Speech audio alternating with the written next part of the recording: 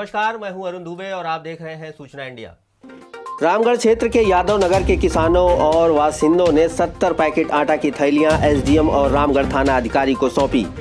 जी हाँ, रामगढ़ पंचायत समिति क्षेत्र के खिलौरा ग्राम पंचायत के अंतर्गत यादव नगर के युवा साथी बलराम यादव, राजस्थान प्रदेश कांग्रेस कमेटी सदस्य के सुझाव पर किसानों और वासिंदों द्वारा कोरोना वायरस महामारी के संकट के समय में रामगढ़ क्षेत्र के गरीब असहाय लोगों की सहायता के लिए पाँच दिन पूर्व एक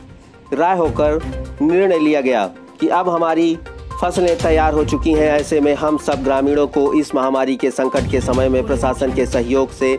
गरीब और असहाय लोगों की सहायता करनी चाहिए। इसके लिए प्रत्येक घर से गेहूँ एकत्र कर आटा पिसवा कर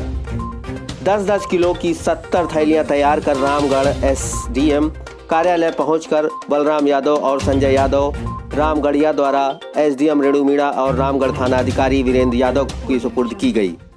कि फिर युवा साथियों ने उस अनाज को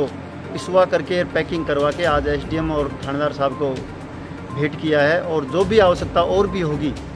जो ज़रूरतमंद के आसार से हिसाब से तो ग्राम यादव नगर के सभी नौजवान साथी और किसान इसमें कंधे से कंधा मिलाकर इस वैश्विक महामारी में उन व्यक्तियों के साथ हैं, जो व्यक्ति भूख से बिलख रहे हैं जिन व्यक्तियों को खाना नहीं मिल रहा है, जो रोज़ की रोटी कमा करके नार घर खर्च चलाते थे, आज रोज़ी रोटी उनकी बंद होने से उनके घर पे खाने के लाले पड़ रहे हैं। उन लोगों के लिए समस्त ग्राम, यादव नगर के सारे ग्रामवासी और किसान और युवा मिल कर के न इस घड़ी में सरकार और प्रशासन के साथ में है। जैसे भी प्रशासन को आवश्यकता होगी, अनाज की, वॉलेंटियर की तो हम साथ में मिल करके ना उनके सहयोग करने के लिए तैयार हैं।